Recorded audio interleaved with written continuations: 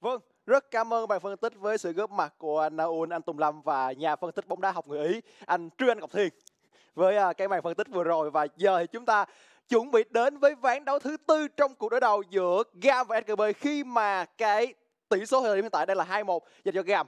Chỉ còn cách một ván thắng để giúp cho Gam có mặt ở chung kết nhánh thắng của chúng ta khi mà hiện tại sau hai ván vừa rồi phải nói rằng cái sự áp đảo của Gam là hoàn toàn so với lại SGB. Nhưng thật sự mà nói là cái ván đấu thứ nhất của SGB là ván thứ hai là hai SGB khác nhau hoàn toàn. Một cái sự vội vã từ SGB ở ván 2, ván 3 nó khiến cho họ phải trả giá đúng như Nao nói, nếu như cái vòng rừng mà ăn từ dưới lên trên không có sự vội vã bằng cách là tìm kiếm những lợi thế sớm. Thì phải nói rằng triển khai ở thế trận cả hai bên ngang nhau thì tôi nghĩ rằng SGB không kém cạnh là bao so với lại Gam cả. Dưới sức mạnh đến từ Norton và Rumble. Những cái sự vội vã từ Guri khi anh ta muốn dùng cái lợi thế của Norton so với một con rêu ở cấp độ 3 khi khả năng tấn công của từ Norton là nhiều hơn. Nhưng anh ta lại không tính tới chuyện rằng đường dưới của đối phương chấp nhận bán máu để thế đẩy trước và di chuyển ra trước đến từ phía của Gam và đó là những cái điều mà khi mà những cái biến số xảy ra, những người ít kinh nghiệm như Guri đã mắc những sai lầm. Và thực ra pha thi đấu đấy là pha thi đấu mà Blaze cũng đã cố gắng đẩy sớm để có thể đi vào giúp đỡ người đi rừng của mình. Nhưng điều đó là chưa đủ. Và đó là lý do tại sao ở ván đấu thứ ba này, chúng ta nhìn thấy lựa chọn đầu tiên là Sài Gòn Buffalo. Đấy là con Saga khi mà Gami Sport quyết định là nhả vị tướng xạ thủ này ra để cho Shogun có thể đánh tôi nghĩ rằng là khi mà đưa Focky vào thì việc chọn được rừng carry cho Kuri nó sẽ hợp lý hơn rất nhiều. Vì Focky hoàn toàn có thể đánh được Mr. Ball khu vực đường giữa. Và một cái thay đổi quan trọng nữa đây là lần mà bên phía của Sogan chọn cho mình. Chính xác là bên phía của NGB chọn trước cho mình con Seiya dành cho Sogan ở những ván đấu trước thì họ ưu tiên ở khu vực đường giữa. Nhưng lần này đó là Froggy chứ không phải là Play với Play thật ra còn chơi rất là kỹ năng kỹ năng rất là cao. Đấy. Và họ khóa lại cho mình nó vẫn là tên như vậy là họ vẫn gọi là trung thành với sự lựa chọn tên này. Uh. sau hai ván không phải là quá tốt nhưng lần này Talia xuất hiện.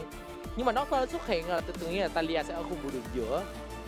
Hoặc là tên đường, đường giữa. và Talia rừng vì Froggy đã từng cầm tên ra khu vực đường hợp giữa lý. rồi. Nếu đây là Buffalo thì đây là cái sự hoán đổi tôi nghĩ có thể xảy ra. Để xem cái cách mà họ ứng đáp với là cái việc bình phía khi chọn đường giữa như thế nào. Nhưng trở lại với lại của gam, họ chọn cho mình Zero cặp đầu cũng rất là khỏe ở khung đường dưới. Và gam muốn về cái thế an toàn, họ muốn như vị tướng có khả năng tấn công cấp độ 6 kia, họ sẽ chấp nhận chơi an toàn một xíu, chơi chậm một xíu. Gam vẫn muốn cho Sài Gòn Buffalo lộ thêm thông tin nên họ lựa chọn người đi rừng, đấy là Wukong cho Baby. Thực ra đây là một bộ tướng mà bên phía của Gam Esports đã vận hành rất là tốt uh, Jerry Lulu ở ván đấu thứ ba vừa rồi còn Wukong ở ván đấu thứ hai. Vẫn là những chất tướng mà Kamiswat có thể tự tin và bây giờ sẽ dành những cái lượt cấm chọn cho đường trên và đường giữa. Bây giờ đường trên vẫn còn đó một con Rumble rất khó chịu đến từ Cotton và kết hợp tốt với cả Nocturne thì thêm cả Talia nữa thì cánh trên sẽ là một cánh đánh rất mạnh của Sài Gòn Buffalo. Vì vậy ở thời điểm hiện tại Gami Sport ưu tiên cấm xuống hỗ trợ cánh dưới tôi nghĩ là hợp lý, tại vì đối phương chỉ còn đó đường trên và hỗ trợ mà thôi. Họ cắm xuống hỗ trợ giúp khâu đường đường dưới của họ dễ dàng hơn. Và họ chọn trước ở khu vực đường giữa, lượt thứ tư. Nghĩa là trong hai cái lượt lựa chọn này, họ ưu tiên chọn đường giữa trước, chứ không phải là họ chọn trước sau là đối phương. Nghĩa là họ sẽ chừa được sự lựa chọn cuối cùng để xem khi mà cô tịch xuất hiện vị tướng nào không vừa trên thì mới chừa sự lựa chọn cuối cùng cho kia ra không vừa trên hoặc là bản thân của Kia cũng có thể chọn trước được, đúng vậy. Vì anh ta có những vị tướng Light và Dion kèo rất là tốt. Và sau đó để xem bên phía bên kia lộ hết toàn bộ là gì thì chọn lượt Last dành cho Kati nhưng mà tôi sẽ vẫn ưu tiên là lượt này là chọn đường giữa dành cho Kati nhiều hơn. Tại vì hai chất tướng này đã lộ rất là rõ rồi. Vấn đề là cái cách mà sử dụng đội hình của Buffalo sẽ là hoán như thế nào mà thôi. Thì họ khóa lại cho mình đó lập lăng còn với Buffalo thì để xem rằng tôi sẽ thiên về Talia đường giữa và thêm cái tên rừng nhiều hơn. Nó vẫn là cái ngưỡng sức mạnh. Oh. Uh, đây là đúng là theo ý định của các phân tích viên của chúng ta. Còn bài gì áp đáy hòn là mang ra hết. Dai ra hỗ trợ cũng được dùng rất nhiều ở rank hàng và ở thời điểm hiện tại tôi chắc thực ra tôi không chắc được bởi vì con Kasate kia cũng đem ra đường giữa được và trong một trận đấu như này thì thực ra họ đảo liên tục là điều có thể xảy ra bởi vì chúng ta làm sao biết được con Zaira này nó hỗ trợ hay là nó đi rừng. Bởi vì đi rừng cũng có người sử dụng Zaira đi rừng ở danh rank hàn luôn nó cũng cũng có thể là thật ra Talia hỗ trợ thì chắc cũng được nhưng mà thật ra không không mạnh lắm. Không mạnh. Đó. Nhưng mà ví dụ Casante ra khu vực đường giữa thì lên khu vườn trên chứ nó tên nó tên lên khu vườn trên thật ra nó sẽ là hơi khó để có khả khó. năng vận hành cái chiêu cuối tại vì cái sức mạnh đến từ Norton chính là khả năng tiếp cận và bạn cần di chuyển ra nhiều đường chứ không phải trụ mã khu vườn trên. Có thể hãy cứ như thông thường đi tên đi rừng Talia đường giữa Casante khu vườn trên và Zara hỗ trợ. Một cái đội hình mà rất nhiều những cái sự lựa chọn thú vị, nhưng với Talia ở phiên bản 13.15 đã được tăng nhẹ sức mạnh trở lại và phần ở đó giúp cho Talia khả năng để đường cũng tạm xem là ổn hơn. Như vậy thì đây là một đội hình nó có rất nhiều sự biến động đến từ bên phía của SKB vì nếu như theo cơ bản như anh Thảo chia sẻ, thì đó là một cái đội hình có thể chơi được. Và nếu như họ thay đổi một chút, thì chắc chắn là sẽ phải có ý đồ nhất định trong cái vòng đường đầu tiên mà bản thân Guri tạo ra. Còn trong cái đấu bên phía của Gam thì tôi nghĩ rằng họ đã đưa ra những lựa chọn an toàn nhất có thể để đối đầu với cái đội hình cực kỳ biến động của SKB phía bên kia và đội hình của Sài Gòn Buffalo đang phụ thuộc rất nhiều vào việc Golden có thể trở thành một tuyến trước vững chắc cho đội hình của họ hay không. Những vị tướng còn lại đều rất yếu máu, đặc biệt là Zaira là một vị tướng mà sát thương và khống chế có, nhưng lượng máu của Zaira lại rất ít, rất dễ dàng bị sốc sát thương bởi lớp băng trong những tình huống giao tranh. Và KD trong ván thi đấu này hoàn toàn có thể sử dụng con lớp băng thuần sát thương phép để có thể dễ dàng biến Zaira trở thành về không khí luôn trong những tình huống giao tranh. Để chờ xem cái cách vận hành cả hai đội như thế nào. Và để xem ở trong ván đấu quyết định này thì bên phía của SGB có thể giành lại được một chút hy vọng cho họ ở trong cặp năm ngày hôm nay không? Hay chính Gam sẽ quyết định số phận của SGB chúng ta đến với ván đấu thứ tư. Có một điều mà phía của Gam đang đưa những sự lựa chọn an toàn đến từ việc là họ thấy đối phương đưa ra những sự lựa chọn lạ. Khi bạn đưa những sự lựa chọn lạ, bạn có thể xuất hiện rất nhiều những sai số vì đó là những sự lựa chọn mà không dễ để xảy ra không dễ để xuất hiện thì bạn không thể nào mà thuận tay một cách một trăm phần trăm được cả. Nhưng bây giờ có tình huống Froggy xuống đường dưới di chuyển xuống tiếp cận vào người của Ballet và Ballet đang bắt buộc phải dùng cho mình hồi máu. Anh ta còn tốc biến tốc biến giữ cho thành công và chiếc công đầu. Nó dành cho Slay. Sau đó Cathy cũng đang có mặt ở đây. Giao tranh sẽ dừng lại ở mạng một chiếc công đầu sai số đã xuất hiện trong pha thi đấu này khi mà Palette cộng với Slayer đang cố gắng dấn lên cao để kiểm soát tầm nhìn, thì họ gặp một con Zyra có rất nhiều khống chế với chiêu E của mình. Những tình huống chói vừa rồi của Slay là cực kỳ tốt. Hai cú chói trúng vào Lulu thì ở thời điểm cấp 1 Lulu không có quá nhiều công cụ để có thể bỏ chạy. Trong khi đó, Froggy, mặc dù anh ta nâng cái phi thạch ở giai đoạn đầu, nhưng lượng sát thương đó vẫn là đủ, cộng thêm một cái thiêu đốt và cái chói của Slay là vừa đủ. Và sự bất ngờ lớn nhất chính là việc mà Froggy có mặt với những cái lần phi thạch của anh ta liên lục vào người Valet. Tại vì nếu như Valet không bị phi thạch bởi Froggy, thật ra lượng máu 2 vs 2 rất là khó cho phía của Buffalo để chạm được vào người của Valet tiếp tục nữa nhưng phải nói rằng Froggy được đưa vào sân, được đưa vào đội hình đến từ phía của Buffalo giúp cho cái sự tươi mới của họ và lợi thế có được ở khu vực đường dưới nhưng mất tốc biến từ Slay thì cũng là giảm một xíu áp lực dành cho phía cô Gam. Bây giờ đối phương không có tốc biến, những tình huống tấn công chỉ là che bao đến từ Slay mà thôi. Còn ở phía Ballet thì ta vẫn đang cố gắng kéo máu người của Slay có điều khá thú vị khi mà Slay anh ta cầm cho mình đó chính là một cái hậu vệ với một con Zyra để có thể gia tăng khả năng trụ đường trong những thùng cấu rỉa đến từ bên phía của Gam. Còn khu vực đường trên thì đây là một ngày thi đấu mà tôi đánh giá là thành công cho cô tịch nha. Khi mà ở trong rất nhiều ván đấu từ nãy đến giờ thì cả cô tịch đang làm không hề thua so với kia phía kia hay thậm chí có những cái ván đấu anh ta nhỉnh hơn so với kia và ở đường dưới thì Palet cũng sử dụng cho mình là khiên cổ vật để có thể hồi phục lại cho Slayer cũng như là bản thân mình. Nó sẽ khiến cho cái khả năng cống tỉa của Zyra nó bị giảm rất đáng kể. Và khi không còn tốc biến và thiêu đốt, thực ra cái sự đe dọa của Zyra ở đường dưới này là không nhiều lắm đâu. Bởi lượng lượng sát thương đầu ra của Shogun ở thời điểm hiện tại là hạn chế và muốn bắt vào Jerry là rất khó và mặc dù có chiếc công đầu đến từ phía của SGB nhưng mà phải nói rằng cùng vực dưới khi bạn đi ra đường sau những một người trên Q3 không chính xác đến từ tụ tịch sát thương trở lại vậy ra lượng sát thương đội đến từ cả hai bên thì đang có cái sự nhỉnh hơn dành cho Kyrgia với khả năng hồi phục ngược trở lại của anh ta. Và bên phía của Gam, ở nhịp này thì tôi cảm giác là họ đang có cái lợi thế nhất định. Khi mà Levi đang có một phòng rừng full 6 7 xuống khu vực nó dưới và khả năng cạnh tranh của dưới có thể là Gam đang nhỉnh hơn những khu vực trên. Cô tịch đang gây áp lực vào kia phía bên kia và kia bắt buộc phải lùi về trong nhịp này. Đợt lính này nếu như kia làm tốt sẽ là đợt lính mà anh ta sẽ nhịn lính hơn so với bên phía của cô tịch nhưng thật ra rất là khó với con on như thế này. Nó cũng không dễ để bạn ăn trọn vẹn tất cả những con lính dưới trụ khi mà lượng máu nó không phải là đầy đặn. Còn đây là pha sẽ có mặt trước hơn một xíu so với là phía của Levi. Đánh nạt so sang từ Levi nhưng trở ngược lại thì đợt này đã bắt đầu được thuộc về phía của Buffalo. Và đã giúp cho họ khả năng tấn công người tấn công người của Levi được đánh nhau. Và Saider lại là người ra trước với nhanh như điện tiếp cận vào người đối phương. Levi kích được chinh phục tốc biến được đầu tư đến từ Green có hồi máu được dùng, né được trói Levi lại là người bị trói anh ta mất tốc biến. Một trăm cuối cùng Levi vẫn sống được. Kenty đang tiến ra nên bắt buộc phải bật lá trắng và bên phía của Gam có được mạng cục đầu tiên. Sau đó là mạng trả của lại dành cho Slay. Hai mạng cho SGB khi Sogan cũng kịp với cái tay mình vào người của Catty Pha thi đấu vừa rồi là Froggy cũng đã có một tình huống làm rất tốt khi anh ta hất được KD ngược trở về để cho sân có được điểm hạ gục của mình. Zyra của Slay có một lượng sát thương khủng khiếp trong pha giao tranh vừa rồi. Mặc dù anh ta không cần phải sử dụng cho mình Ôi. là cái thiêu đốt, nhưng đây tiếp tục một tình huống tấn công lên. Đây chúng ta cùng xem lại một pha thi đấu mà Slayer anh ta cố gắng tấn công vào Guri nhưng cái nhịp dẫn theo và đi vào hang rồng này của Slay dù dù thoát được cái chói của Zyra nhưng để anh ta vào tầm tấn công của tất cả thành viên phía SB. Mặc dù là Slayer có mặt trước, nhưng cái lượng sát thương đến từ con nó tên cặp cho mình đó là nhịp độ chết người nó sát thương rất nhiều so với là phía kia là Levi.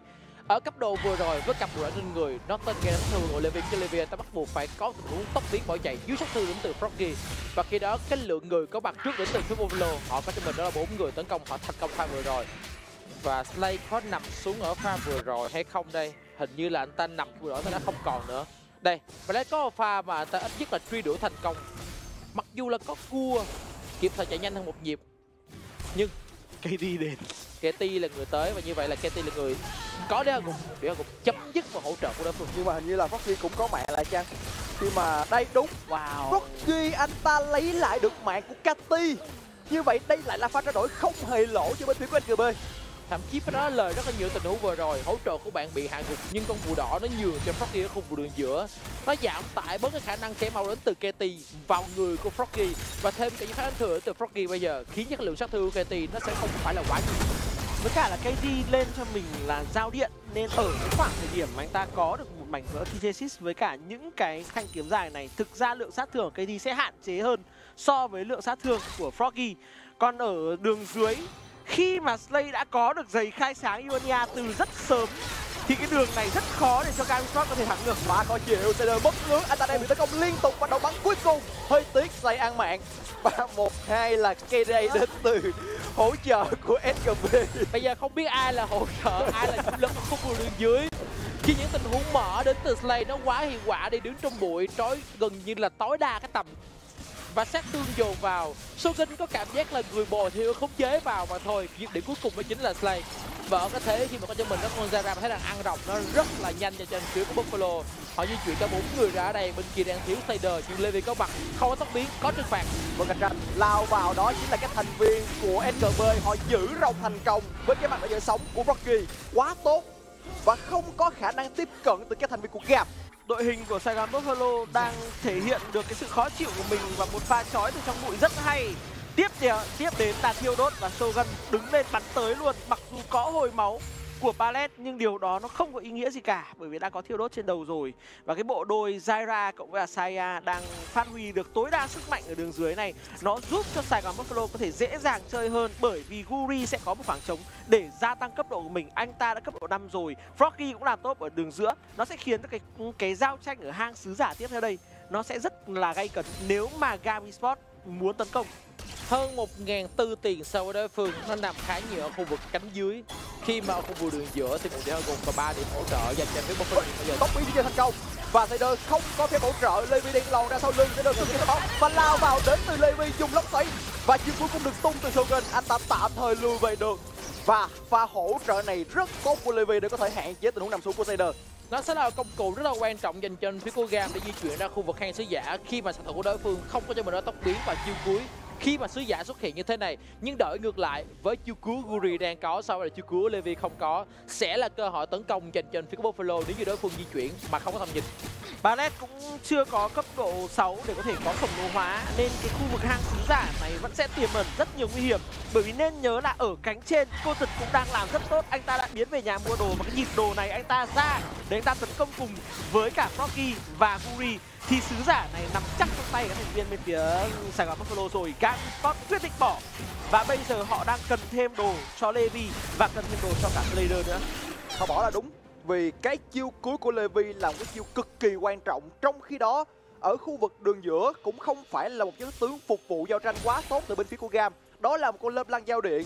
Và cái việc di chuyển từ phía của SKB cũng là rất thông minh. Họ di chuyển nửa đường, thấy rằng không có động thái tấn công từ bên thiếu gàm họ giật về khu vực dưới.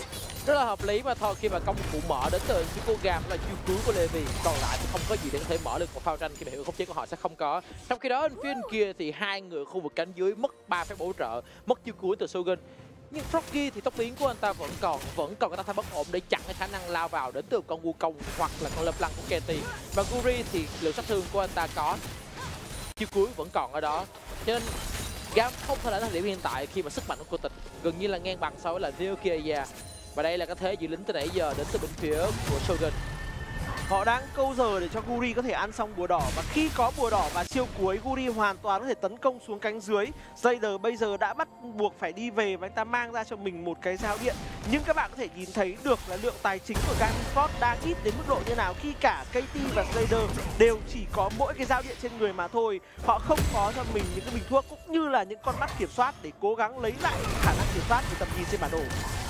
và cái giao điện này cũng không phục vụ cho khả năng đánh nhau đâm ra những cái mảnh đồ từ bên phía của NKB có, sẽ giúp cho họ hoàn toàn có khả năng chủ động hơn trong những giao tranh tổng. Như vậy phải đòi hỏi Levi phải có một cái tình huống gánh giao tranh rất lực dành cho Gam để giúp cho họ tìm được một cái chiến thắng. Nhưng Guri chưa đi về nhà mua đồ. Cho mình nó rìu nhanh nhẹn mà thật ra đó ở phía bên kia thì Levi cho mình đó là cái hỏa ngọc thêm cả là cái thủy kim. Ít chất lượng trang bị mặt kinh tế của anh ta đang nhỉnh hơn một xíu so với lại của Guri trước khi Guri đi về nhà. Bây giờ đi về nhà thì ít nhất là lực lượng kinh tế trên người Guri đang nhỉnh hơn so với lại Levi và phần ở đó thì đi ra khu vực hang rồng còn hang quán đấu sẽ là cơ sở có tiền đề tốt hơn dành cho phía của SCB Đây là một ván thi đấu mà Sài Gòn Buffalo bắt đầu thi đấu chậm lại một chút và nó có cảm giác giống ván đấu đầu tiên hơn khi họ đã không quá vội vàng trong một tấn công. Cô Tật vẫn luôn luôn bung chiêu cuối ra để lấy máu của On để tạo điều kiện cho những tình huống ghé thăm của Guri. Nhưng ở thời điểm hiện tại thì Kiaya sẽ cố gắng phòng thủ nốt đợt lính này. Cô Tịch sẽ có một nhịp biến về để mua cho mình trang bị thần thoại.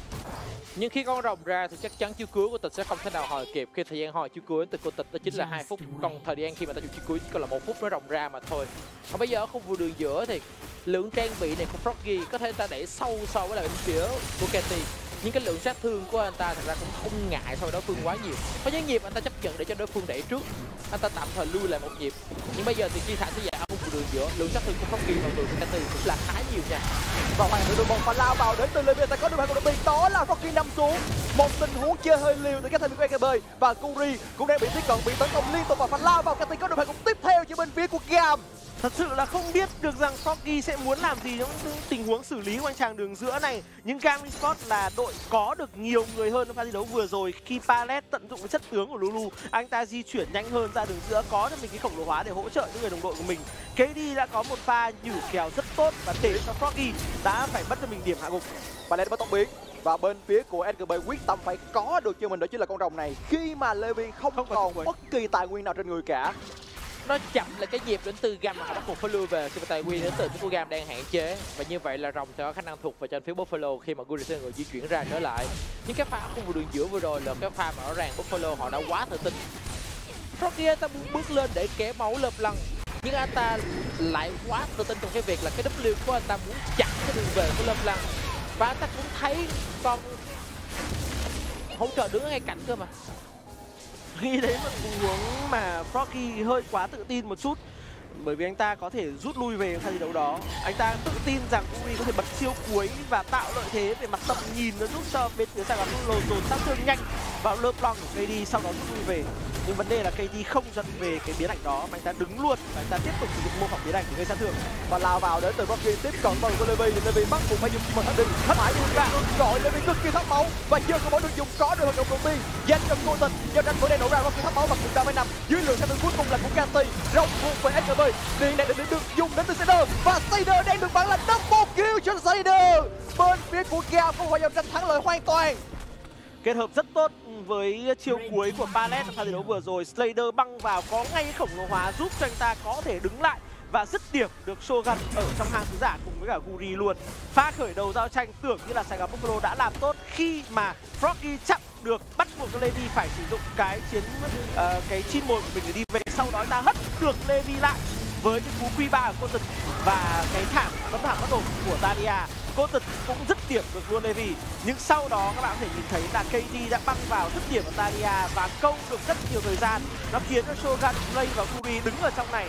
Slayer băng vào có khổng lồ hóa của Ballet và đủ để ta có thể dứt điểm cả hai thành viên của Sài Gòn Buffalo.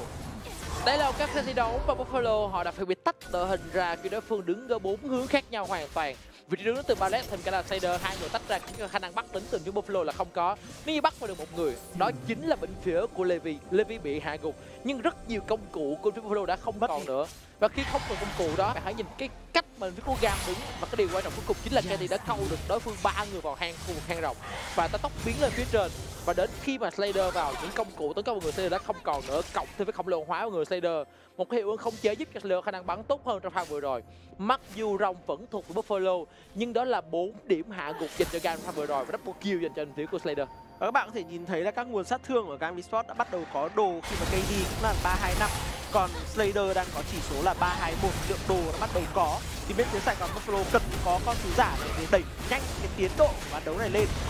Đã bắt đầu cảm giác được là con Zaira này nó yếu rồi cái đấu vừa rồi khi mà Slay chói xong và tung chiêu cuối xong thì anh ta rất dễ dàng bị tiếp cận và mặc dù lượng sát thương của KD không nhắm anh ta. Anh ta vẫn rất thất máu. Kiều Gia vẫn tốc biến, anh ta vẫn đang bị hoảng sợ và mất luôn cho mình hội bởi với đây bị tấn công liên tục. Tuy nhiên, Kiều Gia khá trâu và rối tung ra giữ cho thành công và có luôn cái thủ hất cùng trở về. Curi có được màn hạ gục tiếp theo. Dành cho bên phía của NGB một màn gỡ gạt ở khu vực ở trên. Nhưng khu vực đường dưới đang là khoảng trống dành cho Cathy.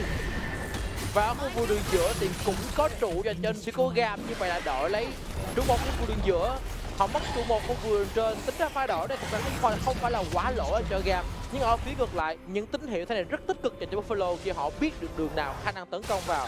Mặc dù O rất khỏe, nhưng sát thương đến từ ba người khi tấn công vào và cái nhịp làm giữ chân là đến từ Slay với nhịp trói của anh ta rất chính xác để cộng thêm cả quan địa chấn thành bất ổn đến từ Froggy. Nó đủ sát thương và bây giờ với Talia của anh ta sẽ là một Talia nó rất thuần về sát thương, thì đây sẽ là cái mặt nạ thấp độ đến từ Froggy Nhưng mà cho đến thời điểm hiện tại, tôi có cảm giác là KD bắt đầu được cử đi đẩy lẻ và tốc độ đẩy của anh ta là rất cao.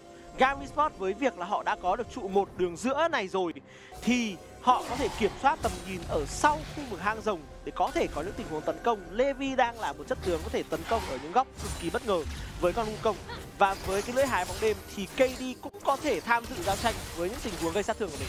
mà xét về đồ thì tôi cảm giác là cái món đồ xây lên thật ra thì với việc anh ta có được nhiều mạng á, nếu anh ta lên sát thương thì biết đâu đó vẫn có những cái tác dụng nhất định đến từ Conjura nhưng vì anh ta lên cho mình đó chính là một cái ngộ đối thánh quang đâm ra cái lượng tài nguyên lớn mà Slay nhận được ở trong khoảng thời gian đầu, nó đang không sự phát huy quá nhiều tác dụng. Tôi nghĩ rằng anh ta sẽ là một người tôi biết rằng mình có khả năng bị hút sát thương đến từ khả năng lao vào những tình huống mà Wukong có khả năng tiếp cận. Tại vì nếu anh ta lan sát thương, mặt tích cực cho Buffalo chính là họ có rất nhiều sát thương ở dạng tuyến sau và dạng tuyến đầu. Nhưng khi bạn lên cho mình đó là trang bị như thế, đòi hỏi việc phải giữ vị trí rất là cẩn trọng. Và đội hình của họ thật ra Cassante là một chất tướng lao vào, nhưng đổi vị trí từ Cassante ra một cái góc khác, thì dàn chắn của họ là không có. Còn bên phía bên kia là những thứ có khả năng xuyên tường rất là hiệu quả những khả năng tấn công tầm xa như lớp lăng chẳng hạn. Đó sẽ là sự lựa chọn mà mang tính chất mạo hiểm rất là cao. Thì anh ta ưu tiên khả năng chống chịu, có thể nhận sát thương từ lập lăng nhưng mà vẫn sống sót. Cái điều anh ta cần chính là khả năng trói chân lại và khả năng hút được di động đến từng chiêu cuối. Và sau khi dùng chiêu cuối xong, gia tăng hồng độ của mình cũng là một cơ sở rất là tốt để cho bản thân vươn lên và bây giờ thì bên phía của SGB đang chịu những cái đợt đẩy đến từ hai chất tướng cầm dao điện từ bên phía của Gam. Đó là khu vực đường giữa và khu vực đường trên. Và bên phía của Gam này bị bắt lại một người đó là Palet anh ta bị hất luôn trở về nhưng nó không nằm trên tầm của tâm thao bất ổn và Capi lao ra. Anh ta kích nhẹo cái lưỡi hai bóng đêm vào người của đối phương.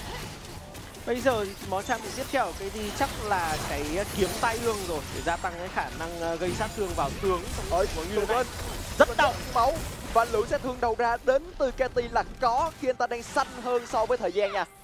Anh ta đang khá khỏe hơn so với là Froggy khi một tình huống sai lầm Froggy ở khu đường giữa. Katy rất tự tin lao qua bị giữ chân ngược trở lại. Anh ta kịp rút về hay không câu trả lời là có. Vẫn bị hoảng sợ nhưng đã an toàn rồi. Nhưng thật hai người không ai là ta đang muốn một pha kia đối phương đứng chung lại với nhau đánh thường để kích hoạt cái giao điện giết để không được Shogun. Nhưng rất tiếc, cái tầm của Shogun gần như nó hơi xa tình huống vừa rồi khi mà khả năng tấn công đến tình lâm đang là có, nhưng nó không đủ tầm để giết để không được Shogun. Và bây giờ thì họ triển khai lại con rồng thứ ba qua đấu sẽ là rồng một dành cho gam gia tăng được khả năng chống chịu, một con rồng được tăng sức mạnh khá là ổn cho bản thân của Kia và Levi và đây sẽ là cái giai đoạn mà bên phía Gam Sport liên tục tấn công, liên tục đẩy lẻ bởi vì cái chất tướng Kasate không phải là chất tướng có thể dứt điểm được con LeBlanc này nếu mà đi cùng một cảnh. Froggy cũng là như vậy khi mà cái sự chủ động lao lên đánh thường của KD sẽ rất khó để Froggy có thể trải tấm thảm bất ổn của mình ra và hất đối phương ngược trở lại.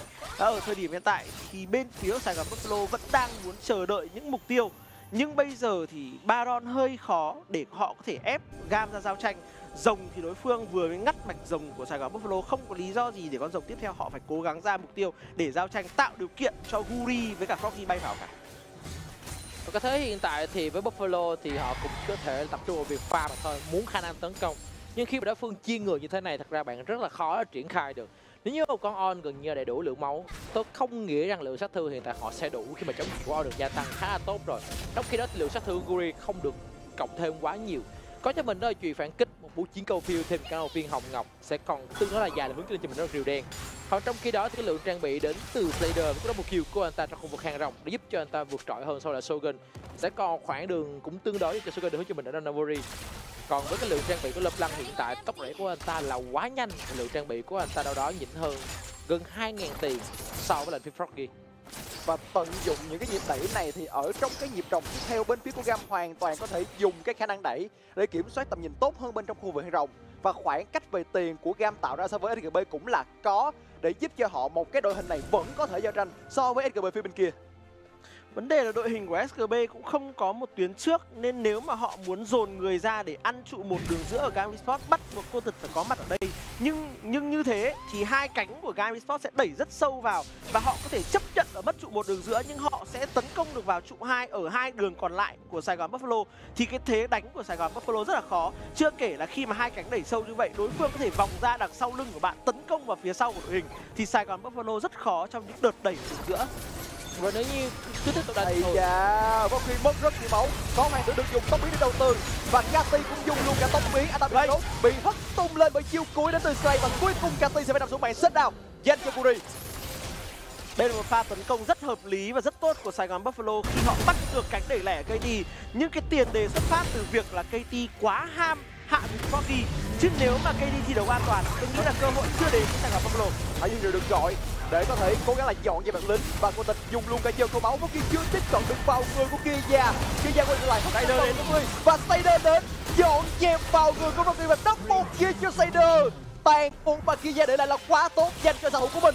Quá nhiều sự vội vã từ cả hai bên. KT vội vã trong pha mà anh ta muốn solo kill đối phương. Và anh ta bị hạ gục. Trong khi đó phía ngược lại chính Frogkill của tình cũng rất là vội vã trong cái pha mà họ muốn dứt điểm Kiaya họ thấy rằng KT đang trên bảng điểm số. Họ muốn có lợi thế về người ở khu vực cánh dưới. Họ muốn mở ra trong một khu vực đường dưới. Nhưng khi mà Slider có mặt khu vực đường dưới điều mà Frogkill và cô tình hoàn toàn không chuẩn bị được. Wow. Xét thương nhiều từ Snyder và thậm chí anh ta không có chiếc cuối vẫn đang bắn rất tự tin. Lao vào bằng hoang tưởng và không hoảng sợ được Snyder vì anh ta thoát qua phía bên kia bờ tường. Snyder vẫn an toàn trong khi đó ở trong khu vực hang Baron là những cái động thái đang ăn Baron đến từ bên phía của Gam. Tốc độ này thì hình như là vẫn ổn. Dành cho bên phía của Gam. SGB đang từ tiến vào. Không còn chiêu cuối từ Guri và cũng không có tốc biến nữa. Baron một ngày máu. Baron đã thuộc về bên phía của Gam rồi. Mặt đánh sẽ bị dùng tranh nổ ra và mạng Autory đã có những phía của Gam. Hất về khá tốt. Levi là nạn nhân và Levi cũng đang phải xuống là một đội một. Tốc biến được từ đến từ Slay đi. Trối chân. Không trúng ai cả. Bên phía của Gam đang cố gắng lùi về và họ lùi về thành công với một hai ba bốn thành viên Pha thi đấu vừa rồi là một pha thi đấu mà Gam đã dồn sát thương và Baron cực kỳ hợp lý. Nhưng mà lý do họ rút lui về không đánh là bởi vì trước đấy Pallet trong lúc đi ra đường giữa anh ta bấm nhầm siêu cuối vào bản thân mình.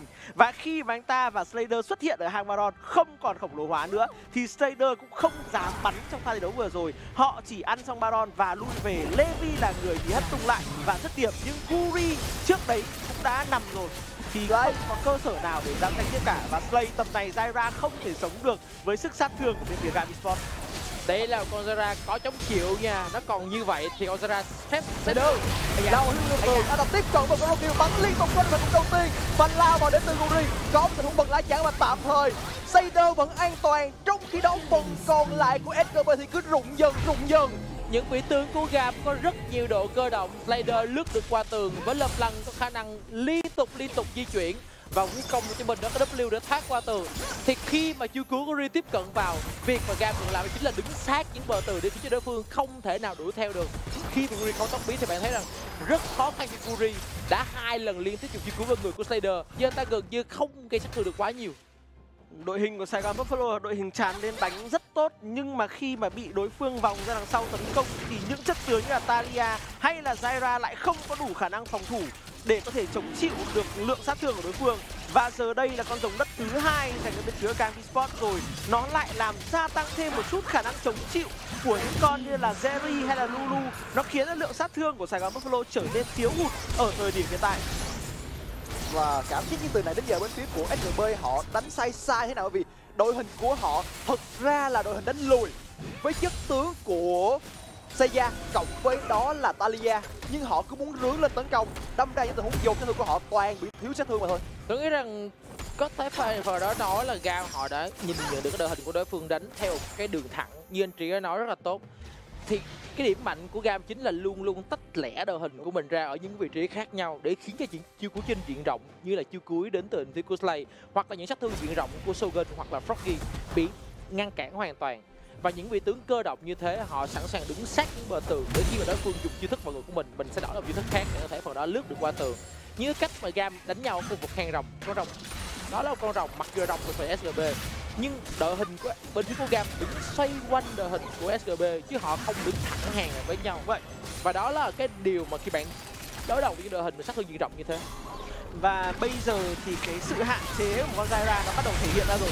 Wow. thương quá nhiều từ Capi và Levi lao vào có được động đầu tiên Trúc Long giữ chân thành công được Levi và ta đã phải đâm xuống tạm thời là một đội một. Nhưng sau đó là hỏa diệu triệu được dùng. Chuyến cuối đứng đầu tư đến được slay với một không đời cả và đúng lúc khá tốt. Nhưng đó là Snyder lao vào. Với điện đạt đỉnh điểm anh ta đã xác định lắm rồi và double kill đã có cho Snyder. Đã là trụ ba khu vực đường trên. Dành cho bên phía của Gam và thậm chí là trụ nhà lính của đường trên. Với tốc độ hồi sinh này thì cảm giác có thể là end được ờ, từng ngày lính cứ nghĩ là không bởi vì đẩy lính rất nhanh đến Cotton và Yuri và bây giờ Gam đang đứng ở giữa hai trụ đối phương tấn công. Đến tới những đợt thứ hai. Và lao ra dứt điểm thành công được Kati và tạm thời thì đúng là không end được. Pha vừa rồi là pha bảy theo KT anh ta đã muốn cùng với lượng sát thương đến từ Slayer nhưng sức mạnh của Center thì nó vẫn còn ở đó. Ít nhất là phòng ngự dưới trụ thêm cả sự trợ Guri nữa. Thì không có quá nhiều cơ sở dành cho Gao tình huống vừa rồi nhưng ít nhất là họ thử. Họ thử và họ không thành công thì họ lui về mà thôi. Những cái khoảng cách về tiền cộng với là cái thế trận hiện tại và chất tướng mà họ đang có thì nó là rất khó. Cho Buffalo để có thể bật ngược trở lại. Khi mà lớp lăng đã quá khỏe, những vị tướng để bắt lớp lăng, bạn cần kỹ năng thẳng vào người. Thì chất tướng nó từ Buffalo rất là khó để có thể giữ chân một con lớp lăng như thế này. Nếu như bạn không thể đầu tư hết tất cả mọi chiêu đã có những pha mà Slay, khi mà lớp lăng của KD bay vào, Slay đứng ở gần đấy ta chói được luôn con lớp lăng và nó khiến cho lượng sát thương trả ngược vào KD là nhiều. Nhưng ở thời điểm hiện tại, cái lượng sát thương trên diện rộng của KD gây ra nó khiến cho Slay nếu mà dám đứng lại để cố gắng chói thì ra ta có khi là người bị tan biến ngay lập tức với lượng sát thương dồn của lâm long này. Cái chất tướng Zyra nó bị hạn chế ở một thời điểm hiện tại. Đấy là tốc biến của Slay bây giờ phải tốc biến lên chói nhưng nếu mà anh ta không có tốc biến, anh ta sẽ là đích đến của các thành viên Gang Sport họ đang dồn tất cả mọi thứ vào kia Kia Kia cực kỳ thấm máu, người tới hiện tại là Rocky vẫn đang dồn sát thương và cuối cùng có được hạ gục của Kia nhưng sau đó thì sao? Bên phía của cái phải không người trở lại. Rocky mất nhẹ cho mình, là một cái lớp siêu và anh ta phải lùi về trong chế bên phía của Gam điều người xuống khu vực ở dưới tôi nghĩ là những cái pha như vậy không nên xuất hiện quá nhiều với đội hình của Gam. Đây là những sai lầm mà thật ra nếu như bạn muốn đến thế giới một cách tốt hơn, những sai lầm như thế này không nên xuất hiện quá nhiều tại vì đội hình của Gam đang không sẵn sàng cùng giữa. Raider ở đó cùng với là Kiaya nhưng công của Levi đang ở cánh dưới và Katy đang ở khá xa. Và khi bạn không đứng gần lại với nhau, đối phương đang ở rất gần từ đường giữa. Và đó là một cái sai lầm về bản thân của Kiaya đội hình của Gam không có được những sự kết nối tình huống vừa rồi nhưng phần hiện tại của bán đấu cái khoảng cách về tiền như nói, một điểm hạ gục chưa giải quyết được quá nhiều vấn đề của SKB khi họ đang thua tiền mặt trang bị so với đối phương. Vấn đề nữa là Shogun đã phải mất cái hồi máu của mình trong pha thi đấu vừa rồi để cố gắng hạ gục Kiaya. Thì bây giờ khi mà giao tranh ở hang Baron, lúc này Kiaya đã hồi sinh. Chiêu tất nhiên là chưa có chiêu cuối rồi, nhưng xạ thủ đối phương không có hồi máu, rồi đường giữa của đối phương Froggy không có bức tường để có thể đặt ra để cô lập các thành viên của Gang Sport thì đội hình của Gang sẽ xoay xung quanh nhau rất mạnh. Bây giờ Levi có chiêu cuối, bây giờ Slider và Pallet có chiêu cuối. Sai Gòn Buffalo nếu giao tranh thẳng mặt 5 năm, bây giờ họ sẽ thua. Bây giờ thì bên phía của SCB đang bị đẩy ngược trở về khu vực phần nhà của mình nhiều hơn. Rồng thì sắp ra, nhưng mà Baron thì đã sẵn sàng bên phía của SKB vẫn đang cố gắng là điều ngon khu vực giữa may cho họ là vẫn còn một con cua khi mà Gulli vừa cướp được. Tuy nhiên Sogan thì anh ta cảm giác là anh ta đang hoàn toàn bị bỏ quên ở trong ván đấu này. Tại vì hoàn toàn không có khả năng tiếp cận từ các thành viên của SKB để có thể dồn tài nguyên dành cho Sogan và Sogan đang thật sự là rất khổ ở trong tôi cảm giác là gần như là xuyên suốt cả cặp BO5 đang đợi Shogun hút máu đây sẽ dừng lại Shogun hút máu ta khả năng hút máu người trở lại. Trong khi đó, trước đó là pha mà chính bản thân Kentiga ta làm thành công trong việc là kéo máu được của Shogun. Nhưng anh ta cũng phải chấp nhận đổi được lượng máu khá lớn khi bị dính của trói đến từ bên phía của Slay. Nhưng khi mà hai người thấp máu như thế thì mình thấy rằng Shogun là sự chủ lực đến từ chuyển Buffalo. Có phía ngược lại, thiếu sát thương của Kenty thì vẫn còn đó Slayer để có thể gần bù trừ được lượng sát thương và họ đang muốn di chuyển ra hàng Baron họ sợ rằng Buffalo đang muốn rất vào nhưng Buffalo làm thiệt. Họ đang tấn công vào khu vực Hammeron bằng cái gì đường dùng để có thể chặn đường vào của Gam. Baron đang được ăn tốc độ tôi cảm giác là không quá nhanh. Chưa có đường tư chắc không được quá hiệu quả từ Slay và sau đó một pha lao nhẹ vào của Kenty khoan tưởng được bật Baron đã có. Dành cho một thứ mình bên vấn đề là họ về được bao nhiêu người mà thôi. Họ đang đánh chùm chung lại bên nhau. Và Taylor đang bật đi để điểm bắn liên tục. Lốc xoáy được chung từ Levi hai mạng đã có cho bên phía của Gam và liên tục là mạng nổ. Tôi nghĩ rằng không có ai có thể về được cả, vì họ sẽ phải đập xuống hết. Là quyết sạch dành cho Gam. Một pha giao tranh mà các thành viên bên phía Sài Gòn Buffalo đã đưa ra cái quyết định khi mà ở vào thế chân tường. Đấy là lao vào khu vực hang Baron. Nhưng Cam Esports, tôi nghĩ là họ đã xác định không cần con Baron này. Họ chỉ cần quét sạch đối phương ở ngay hang Baron là họ sẽ giành chiến thắng. Và đó là một quyết định hoàn toàn chính xác họ có được một tình huống mà đã câu kéo được rất nhiều công cụ trước đó đến từ bên phía của Buffalo. Chứ cuối của Slay được dùng chỉ để ngăn cản đối phương lao vào. Và khi những công cụ đó không còn nữa, khi hiệu công chế không còn nữa, thì cái lượng sát thương cuối cùng với từ việc mà Levi cộng cả Slayer lao vào là rất dễ hiểu. Chiến thắng chung cuộc dành cho phía của Gam trước phía Buffalo với tỷ số là 3-1 một. Ván thắng mà lại tiếp tục khẳng định rằng ván đấu đầu tiên pha giao tranh ở trụ hai của đối phương là một tai nạn.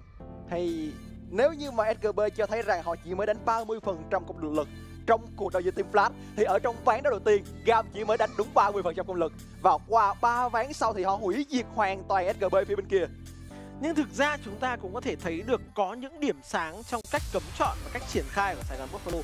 Ví dụ như lượt lượt lượt, lựa chọn Zaira hỗ trợ này ở giai đoạn ban đầu, nó đã giúp cho Sài Gòn Buffalo có rất nhiều lợi thế ở cánh dưới. Nhưng rồi sau đó thì cái việc triển khai giữa Nocturne, Talia và thậm chí là cả con Zaira nó gặp nhiều vấn đề hơn và nó đã tạo cơ hội để cho một chất tướng linh hoạt như là LeBlanc của KD có thể tỏa sáng và gánh lại cái giai đoạn đầu trận và giữa trận dành cho bên phía Gami Sport. Tôi nghĩ rằng Buffalo trong ngày thi đấu hôm nay thật ra ngay cả những ván mà họ thua, họ có những thời điểm mà họ giữ chút chất tướng của họ. Những cái điều mà họ thường xuyên mắc phải đó chính là những cái sai lầm cá nhân nó diễn ra một cách thường xuyên hơn so với lại phía của Gam. Gam họ cũng mắc sai lầm nhưng khi họ dẫn 6.000 tiền, 8.000 tiền họ mới mắc sai lầm. Trong khi đó ở những cái thế trận chỉ chênh lệch nhau khoảng chừng 1.000 tiền đến 2.000 tiền. Thì ví dụ như một pha điển hình là pha khu vực đường giữa. Froggy anh ta bị hạ gục trong một cái thế mà thật ra nếu như thả sứ giả xong mà chỉ cần đơn giản là kéo máu thả sứ giả xong di chuyển đi về thôi. về thôi thì bạn giữ từng cái lợi thế nhỏ như thế để bạn triển khai tiếp tục nó sẽ dễ dàng hơn. Thay việc là bạn gần như là muốn ăn tươi nước sống đối phương muốn dành hết tất cả mọi thứ mình có thể làm được thì những cái sai lầm như thế nó khiến cho bản thân của Froggy thu thiệt so với lại phía của LeBlanc. Và thêm cả là đội hình của anh ta cũng bị thụt lùi với đối phương nữa. Tôi nghĩ là trong cái ván đấu thứ tư vừa rồi thì cảm giác như là những cái lợi thế nó đang không được tận dụng quá tốt và cái vấn đề rất là rõ ràng đó chính là ba mạng đầu nó thuộc về bên phía của Slay. Nó khiến cho cái lượng tiền mà bên phía của SGB có được lợi thế so với Gam á, không thật sự quá hiệu quả. Và chúng ta cũng không thấy nhiều cái tác dụng đến từ cái ngọn núi thanh quang mà xây lên ở trong ván đấu vừa rồi. Nếu những điểm hạ gục đấy rơi vào tay của Shogun thì có lẽ Gam Esports sẽ gặp nhiều vấn đề hơn. Và biết đâu đó chúng ta đã có ván đấu thứ năm, nhưng điều đó nó sẽ chỉ là một giả thuyết mà thôi. Không có chỗ cho những sai lầm và Sài Gòn Buffalo sẽ gặp lại Team Flash Đúng. ở cái nhánh thua tại playoff của VCS 2023 hoàng hôn này. Còn trong khi đó Gam Esports chỉ cách cái tấm vé đi chung kết thế giới một trận đấu BO5 nữa thôi. Chúng ta sẽ có được cái cặp đấu rất hấp dẫn sắp tới khi mà Gam đã thể hiện cái màn trình diễn rất ấn tượng khi mà ngày hôm nay tôi nghĩ rằng Gam đã đưa ra một sự lựa chọn rằng họ ưu tiên những sự lựa chọn, gọi là, chống chịu giúp cho đội hình có khả năng dễ chơi hơn đang dựa ván đấu. Tôi nghĩ rằng họ đang muốn có những sự chuẩn bị để đầu với lại trận đấu sắp tới, hoặc là team quen hoặc team secret, khi mà ở cánh trên đến từ cả hai người chơi này vẫn thiên hướng mang khả năng chống chịu nhiều hơn. Thì đây sẽ là một cái sự chuẩn bị rất là tốt khi mà đến giai đoạn vòng playoff trước playoff á, thì bên phía cô Gam họ chuẩn bị rằng cách những người đấu sĩ khu vườn trên nhưng đến trận đầu tiên playoff thì kia gần như chỉ đánh chống chịu khu vườn trên mà thôi đúng và thật sự thì Gam đã thể một cái màn trình diễn quá thuyết phục trong cái ngày hôm nay. Chúng ta hãy cùng đến với bàn phân tích để xem là cảm xúc của các thành viên Gam ở thời điểm hiện tại là như thế nào. Và thưa các bạn, đã có những thời điểm mà tôi đã nghe tiếng nhạc của Silver Scrap vang vẳng trong đầu nhưng mà Gam tắt nhạc luôn rồi. Và chào mừng các bạn đã trở lại với bàn phân tích chúng tôi. Ngồi cạnh tôi ngày hôm nay đó chính là hai tuyển thủ Kiaya và Slater. Xin chào các bạn. À, đầu tiên xin mời các bạn à, gửi lời chào đến khán giả được không ạ? Ờ, xin chào tất cả mọi người, mình là Slater, hiện tại là vị trí sở hữu của Gam Esports. Ừ. Đầu tiên mình xin phép được gửi lời chào đến tất cả mọi người đang xem trên màn ảnh nhỏ và em xin chào anh. Ừ. Quên tên luôn. À, Buồn mọi, mọi, người- mọi người đều biết mà. À, biết rồi, biết rồi, mà biết rồi, em nói thôi. ừ từ đầu nhá từ đầu khánh cũng có nói là sgb mềm non chuối. Vậy thì ờ, đơ với lại kia ra có thấy vậy không? Ừm, thì ờ, Gam top 1 cho nên được phép chọn rồi. Tụi mình chọn Buffalo thì mọi người cũng phải biết là vừa mình đánh giá vậy. Và tụi mình vì tụi mình đánh giá Buffalo như thế cho nên là game 1 tụi mình test bài hơi nhiều. là vậy thật á hả? Ờ, cũng 50 50 sang sang xác nhận đi 50 50. Mình test khá khá. Nói chung là ngay từ đầu thì bọn mình cũng xác định rồi thì chọn Bolo thôi thì mình cũng biết Bolo Sài Gòn Bolo như thế nào thì tay ngay tại vòng bán thì mình cũng đánh Bolo Sài Gòn Bolo thì mọi người cũng biết kết quả như nào đó. ừ. Thì- Thực ra thì mình nghĩ là Gam chọn Secret hay Buffalo cũng như nhau. à hơi căng ta kiểu sao mà tất cả đúng không à, rõ ràng là ván một mình test bài hơi nhiều sẽ có một câu hỏi ván một nha lý do tại sao bạn đánh nhau ở giữa trụ hai pha đó là kia ra đâm lên đúng không? Còn banh phai á. Chủ hai. đúng rồi. Cái pha mà kia ra đâm vào sau lúc mà lấy trụ một sau rồi đâm thẳng vào bằng ống banh phai. Bốn sau đó mình toán luôn. First blood trận LCK á. First blood phút 18 á là lý do tại sao mình phải đánh đánh pha đó. Thì uh, nó pha đó thì bọn mình cũng đưa ý định trước á. Thì bọn mình ờ, cũng xác định là bọn mình định đánh pha đó luôn. Thì bọn mình cũng coi với nhau là kiểu đánh trụ xong rồi mình quýnh luôn á. Cho nên là nhưng mà pha đó mình cũng là người gọi là chủ động đi. Mình kêu tem đánh trụ xong thì mình quýnh luôn. Làm em đó là mình, mình là mình thấy tem mình đam trụ xong cái là mình bay gờ mình quýnh luôn. Mà nó quýnh có vẻ cái thế nó không có đẹp cho lắm. Là- nói, nói chung là pha con đó là cả team đều quyết định là sẽ đánh pha đó là sẽ lấy chủ xong mà đánh. Nhưng mà đánh fail thì mới mới nhìn là là thì pha đó con sai. Nói chung À. là team đồng lòng làm là được rồi. Rõ rõ ràng như đấy thì đoàn kết thì mình chết hết cũng được đúng không? Sống chết cùng nhau thêm nữa là theo thiên thấy là ở phiên bản này con Kaisa á, nó có một cái lên lối lên đồ rất là lạ đó là cái ờ, giả kiếm kết hợp với ờ, súng bay tạc ờ, theo tôi nghĩ là cái điểm mạnh của con tướng này ở cái cái lối build đó có có thực sự là hiệu quả không? mình nghĩ Kaisa thì có khá là nhiều lớp bui á và mình nghĩ là game đó vì đầu game tụi mình mất lợi thế quá nhiều cho nên là không phát huy được sức mạnh của Kaisa lớn lên đầu đó chứ mình nghĩ nếu mà game đó thế trận ngàn giống như là đầu game tụi mình win tới phút 18 mới mất phích lút thì nếu mà thế trận mình không có bị pha mid thì mình nghĩ là game đó Kaisa rất là mạnh. À, là thua là không vui rồi đúng không? Đánh thì vui thấy thua là không vui đúng lên không lên đầu mới thua cũng không vui lắm. Đúng là như vậy đúng không? Từ đầu thì ờ, cô tịch kêu là hôm nay cô tịch diệt thần. Chấm ờ, đối thủ mình nhiêu điểm kia à? Cô tịch á cô tịch hôm nay hả? Cô tịch cô tịch hôm nay em thấy ờ, cũng có sức rồi nhưng mà trình đó thì chắc cũng chưa tới đó chưa đủ đâu nhưng mà cần nếu mà để diệt thần thì cần phải cố gắng thêm nữa ừ. ừ tại vì hình như trận này có lên bút rìu sát thần trận nào đúng không không, không, Thunder. không lên À, không có, không lên. có. Để sao- Vậy là thua là đúng rồi. sao chưa lên mà sao diệt thần được đúng vậy vậy là thua là đúng rồi đúng không ừ. còn khu vực đường dưới thì uh, Slayer đánh giá Shogun màn thiện của Shogun và cả Slay ở trong ván đấu này ờ, bao nhiêu điểm thực sự có làm khó được mình không Ừm, theo bản thân mình đánh giá thì Shogun mình nghĩ là Shogun là em ấy còn trẻ và rất là tài năng và mình mình cũng đánh giá là anh bạn ấy trong top 3 sở thủ của VCS cho nên Ừ. là bạn thể hiện vừa rồi thì game 1 mình có hơi game game 1 thì farm game 2 thì mình có hơi ờ, hơi dở để cho em ấy solo kill thì mong là trận sau Buffalo win để vô chung kết uh, gam ờ, anh xin lại cái solo kill nha Shogun và đó là một rồi. sự tôn trọng một respect đến từ Seder dành cho Shogun Ừ, Ừ, lời cuối thì xin mời Kia cùng với Cedar hãy gửi những lời cảm ơn tới khán giả cùng với nhà tài trợ. Ừ, lời cuối cùng thì ờ, mình xin phép được gửi lời gửi lời cảm ơn đến ờ, tất cả mọi người đang ủng hộ Gam. Thì mình mong là mọi người sẽ tiếp tục ủng hộ Gam trong ờ, rồi đang trong giai đoạn sắp giai đoạn sắp tới. Tại bọn mình cũng đánh vô gao hai thôi còn phải đánh phải rất là nhiều nữa. Thì mình mong mọi người sẽ tiếp tục ủng hộ. Và mình cũng muốn cảm ơn đến tất cả đến nhà tài trợ đã đồng hành cùng Gam trong suốt thời gian qua à, đơ không nói như, gì hả? như nhau như nhau. À. như nhau như nhau đơ chỉ ý kiến với lại uh, Kia đúng rồi hai ok hai, hai thông điệp rất rõ ràng là đơ muốn gặp lại Shogun ở vòng sau. Vâng. Rồi, cảm ơn uh, Slater cùng với Kia đã đồng hành cùng với Ngọc Thiên ở màn phỏng vấn. Có lẽ bây giờ chúng ta sẽ cùng điểm lại những điểm nhấn trong ván thi đấu thứ tư vừa rồi.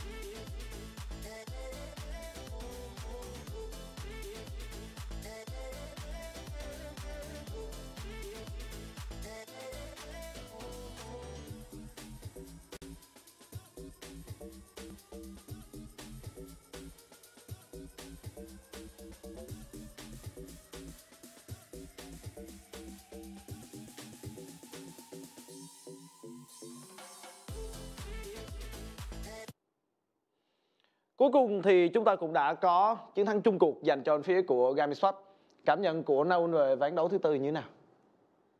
ván đấu thứ tư thì giai đoạn đầu Sài Gòn Buffalo thật sự họ đã làm tốt chúng ta đang nói về những con bài dị những vị tướng à, lạ thì họ có con dây ra support và họ phải làm tốt giai đoạn đầu game để không có bị uh, quăng lợi hết cho game nữa thì họ cũng làm tốt cái chuyện đó luôn khi mà Gugi gặp à, uh, Levi ở con cua dưới thì Gam vẫn làm cái con JD đó vẫn là con JD tới trước nhưng mà họ đã chuẩn bị tốt hơn khi mà Mid cũng như là bot của uh, Buffalo vẫn có mặt và họ có lợi thế từ khúc đó. Còn anh Lâm thì sao? với tôi tôi nghĩ là uh, Buffalo họ đã làm tốt ở thời điểm đầu ban đấu uh, để có thể khống chế lại đội hình mà thiên về giai đoạn mid và late game của uh, của Gamesport và con cua ở vị trí sông dưới nó đã thể hiện rõ điều đó. Tuy nhiên là những cái pha throw game đến từ uh, đến người chơi đường giữa là Forky nó rất là nặng nó khiến cho những cái lợi thế đó nó dần dần chuyển qua về Gavi Sport và Gavi Sport họ cũng có được những cái thế đánh nó được đánh giá là khá đẹp so với cả đối phương nên là từ đó thì SB họ mất dần những cái lợi thế và mất dần cả cái trận đấu về sau Rõ ràng là chúng ta đều thấy là bên phía của Sao Buffalo đã làm rất tốt ở giai đoạn đầu tiên của ván thi đấu. Họ đã lấy rất nhiều lợi thế. Nhưng tôi tự đặt một câu hỏi là nếu như mà Slay anh ta mạo hiểm một chút xíu, anh ta lên thuần về sát thương thì cặp đôi đường dưới bên phía của Sao Buffalo có thắng triệt để hay không? Và thêm nữa là hai pha sai lầm ở khu vực đường giữa và hang rồng đã khiến cho cái ván đấu nó bị đảo chiều hoàn toàn dành cho phía của Gamespot cá nhân tôi không nghĩ uh, lối đồ của ờ, uh, Zara có nó quá quan trọng. Tại vì cái pha rồng hai đó uh, Sài Gòn Buffalo họ đang thả sứ giả uh, tại đường giữa để tạo thế cho ra rồng. Tạo thế ra rồng nhưng uh, Forky thì lại quá ham ghĩa máu của uh, KT đi làm cho uh, anh ta là anh ta không biết được vị trí của Levi cũng như là Palet ở đâu. Rõ ràng là chúng ta đều thấy là bên phía của GAM họ có được những cái phương án Gọi là họ chia đội hình ra rất là nhiều. Chiêu thức của bên phía Sài Buffalo như là ừ, những cái tình huống thu long à, ờ, đến từ chiêu cuối của Saya rồi những tình huống sử dụng chiêu cuối trên diện rộng và trói đến từ của bài Saya. Nó rất cần một điều kiện đó chính là bên phía của Gamiswap gom người lại nhưng mà họ chia ra bốn hướng. Ờ, cái pha giao tranh ở rồng là một cái ví dụ điển hình nhất khi mà họ chia ra. Slayer đứng một góc, Ballet đứng một góc Rồi Kiaya cùng với KT cũng đi từ hai hướng còn lại. Thực ra tôi nghĩ là nếu như mà SGB họ tìm ra một cái lối giao tiếp ờ, chung á, thì họ có thể đánh theo một hướng. Nhưng mỗi thành viên của SGB họ đánh theo một cái hướng khác nhau. Ừ. đó là cái điều tối kỵ trong cái việc mà setup để chống lại đối phương chia thành nhiều hướng khác nhau. Do đó thì mỗi người đánh một hướng và SGB họ thất bại trong điều đó Ừ. nhưng ờ, quay trở lại với cái câu chuyện lên đồ là tôi nghĩ là cái pha lên đồ nó không phải ảnh hưởng gì cả mà do hai pha throw game nó ảnh hưởng đến cái cách lên đồ. Cách lên đồ là nếu tốt nếu như không mắc sai lầm nhưng nếu đã mắc sai lầm thì cách lên đồ đó nó lại không tốt. Ừ, Tôi rất là đồng ý khi mà bên phía của Sâm Buffalo họ đã ờ, không có được tiếng nói chung trong giao tranh. Ừ, Chính xác như vậy, chúng ta nhìn thấy là họ cứ đi qua đi lại đánh Xoay, bên này, xoay, đánh xoay, bên xoay. kia đúng rồi. bị xoay như trong chóng và hồi nãy anh trí cũng nói là Shogun bị bỏ quên hoàn toàn trong giao tranh anh ta cứ bị KT lao lên bóc máu lùi về. Rồi KT cứ lao lên lại. Xạ thủ của bạn là người được đặt trọn niềm tin nhưng cuối cùng thì không ai tin anh ta cả. Kể từ thời điểm mà Foggy anh ta quăng lại lợi thế cho KT với con bài lập lăng thì mỗi lần khi mà ra mục tiêu lớn thì KT làm rất là tốt. Con lập lăng đó anh ta đều cấu máu cho Shogun gần như là out khỏi ờ, mục tiêu hoàn toàn. Anh đoán xem bây giờ là chuyên mục gì?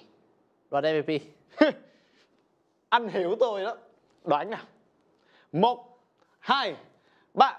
KT Ờ, à ấy da tôi đúng rồi nhớ. KT tôi muốn nói thêm ờ, mặc dù ờ, KT ờ, được MVP nhưng tôi muốn nói thêm một cái tình huống mà đơ Slayer thật sự đã làm rất là tốt khi mà Foggy cũng như là có tịch đã xuống găng ờ, con on của Kia nhưng pha đó thì đơ đã xuống và vét hai mạng cũng như là câu Ừ.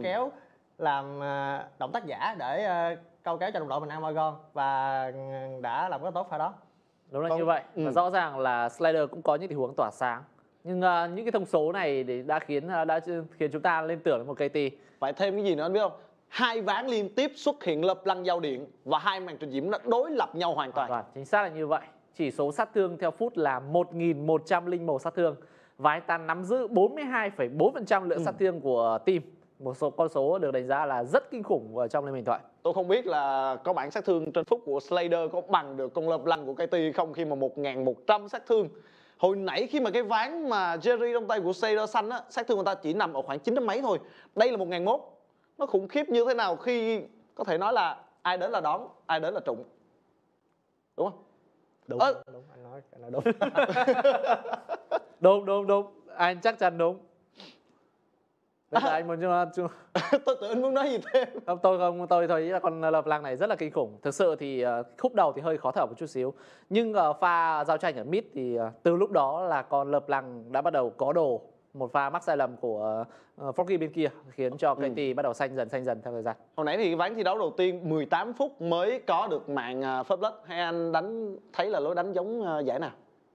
Tôi nghĩ là LCK thôi. Đó nhắc LCK thì bây giờ chúng ta cũng phải nói là nếu như các bạn muốn ờ, xem thêm những cái trận đấu hay á thì trước hết phải xem bracket đã rồi chúng ta mới nhắc tới cái vụ kia. Khi mà bây giờ chúng ta nhìn thấy đó là bên phía của Gamshot cũng đã chiến thắng và đứng chờ ở round 3 rồi.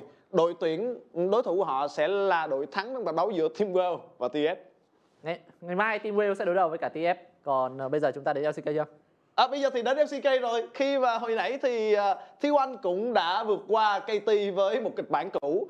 Mùa trước thì tôi cũng thấy là hai không xong tắt TV đi ngủ 5 giờ dậy thấy vẫn còn đánh. Một kịch bản rất ngập thở và chúng ta đã có một trận tái đấu chung kết ở Genji T1 nếu như các bạn muốn đón xem chung kết LCK thì hãy cùng theo dõi trên uh, Box, uh, Box Box TV TV. với cú pháp đó là A cộng LCK tiếng Việt. Không biết là Naun nghĩ sao về cặp này em tự nhận luôn em là team one con. Thì gần như em sẽ cổ vũ cho team one dù cho đối thủ có là ai đi nữa. À, Nào đây cộng một. Còn nếu mà các bạn muốn tham gia những cái ờ, phần ờ, thi gọi là dự đoán một chút xíu thì các bạn có thể tham gia phần Pick'em tại vcs.vnggame.com để có được cơ hội nhận những phần thưởng vô cùng hấp dẫn, những phần thưởng khá là thú vị đến từ VNG. rõ ràng là tôi không lên đây nữa. Tôi đi xa lắm rồi Tôi và anh Thiên đồng đi, đi đi cùng với nhau luôn, dự đoán phát nào thì chặt phát đấy. đúng vậy. Chúng ta đoán đội nào đội đó đi. Ờ thế vậy ra hôm nay tôi đoán đúng à? Ba một. Ba một dành cho gam. À ok. Tôi tin anh. Tôi rất tin anh. Tôi cũng đoán đúng vì hôm nay tôi ngồi gần ờ, ngồi cạnh Naun. ừ tại tôi cảm giác là mỗi khi tôi với anh ngồi chung với nhau á à, chúng ta đoán đội nào chúng ta đẩy đi đội đó một đoạn. đẩy đúng đi một đoạn luôn à, cuối cùng thì ngày cũng dài rồi mặc dù không có ván thi đấu thứ năm nhưng chúng ta cũng đã có những diễn biến vô cùng hấp dẫn trong ngày thi đấu hôm nay khi mà cả sở Buffalo và Garmin Sport đã mang tới đã trình diễn cho chúng ta hết sức mình. Cảm ơn các bạn đã theo dõi kênh à, VCS Liên minh Huyền thoại đến giờ phút này. Thay mặt cho VS, VCS Studio xin cảm ơn các bạn. À, chúc các bạn một tối thật tốt lành. Bây giờ thì cảm ơn và hẹn gặp lại.